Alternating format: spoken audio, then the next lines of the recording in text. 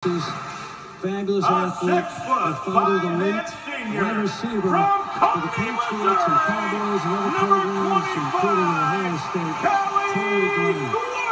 Now Molly Rose, her father, number 83. An innovation five-foot Callie Schwarzenbach just received Texas, as she is one of the two Nick medals starting this afternoon 5'4" for the Long Beach.